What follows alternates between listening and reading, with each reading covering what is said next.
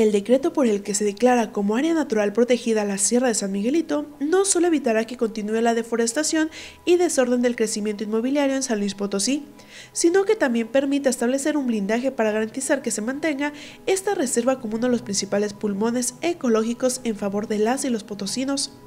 Lo anterior lo manifestó el presidente de la Comisión de Ecología y Medio Ambiente, el diputado Eloy Franklin Sarabia, al reconocer el esfuerzo y trabajo coordinado del gobierno federal y estatal para establecer en un corto tiempo la aplicación del catálogo de las áreas naturales protegidas en la Sierra de San Miguelito.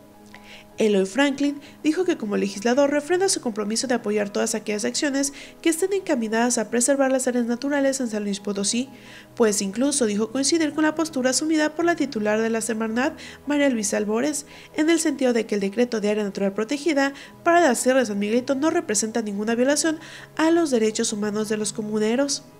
consideró que otro de los puntos importantes acordados entre la Semarnat y el gobierno del estado es el de establecer las acciones necesarias para garantizar el adecuado uso y manejo de la tierra,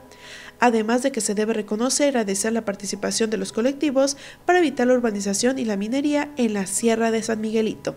Para Noticieros Cable RB, Ana Ramos.